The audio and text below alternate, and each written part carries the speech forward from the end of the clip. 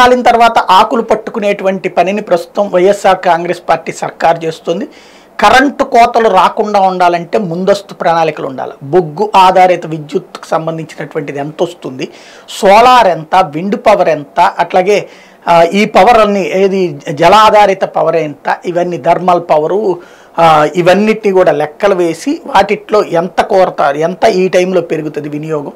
వాటిది ఎంత ఇవన్నీ లెక్కలు వేయాలి. ఈ లెక్కలన్నీ తెలిసినా వెయ్యని విద్యుత్ శాఖ ఒకవేళ వేసినా పట్టించుకొని ప్రభుత్వం రివ్యూ చేయని పాత మంత్రి వీటన్నిటి మధ్యన బొగ్గుతో నడిచేటువంటి కరెంట్ కంపెనీలన్నీ ఆగిపోయి తద్వారా చీకట్లలోకి వెళ్ళి చివరికి పవర్ హాలిడేలు ప్రకటించుకోవాల్సినటువంటి పరిస్థితి కరెంటు కోతలు. దాని మీద తీవ్ర వ్యతిరేకత వ్యక్తమయ్యేటప్పటికీ సరిచేసేటువంటి ప్రక్రియల్ని చేపడితే ఇప్పుడు ఈ లోపుగా కేబినెట్ మారి పెద్దిరెడ్డి రామచంద్రారెడ్డి ఆ శాఖని చేపట్టాక ఈ రివ్యూల తర్వాత ఇప్పుడు తాజాగా ముప్పై ఒక్క లక్షల టన్నుల బొగ్గు అర్జెంటుగా ఇంపోర్ట్ చేసుకుంటున్నారు.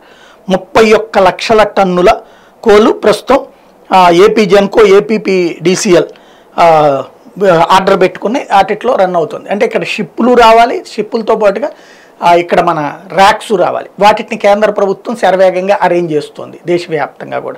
చివరికి ట- పాసింజర్ ట్రైన్స్ని ఆపేసి మరి ఆ రూట్లు శరవేగంగా మూవ్ అవడానికి మొన్న ఆక్సిజన్కి ఎట్లయితే కేంద్రం చేసిందో ఇప్పుడు ఇది కూడా అదే చేస్తున్నారు. తద్వారా వాస్తవంగా మొన్న ఇరవై రెండుతో కోత పూర్తవ్వాలనుకుంటే అది కాకుండా ఇప్పటికి తొమ్మిది పది తారీఖులు వచ్చిన అదే సమస్య ఉంది. అయితే తగ్గినాయి. అంతకుముందు కోతలతో పోల్చుకుంటే కొంత తగ్గినాయి.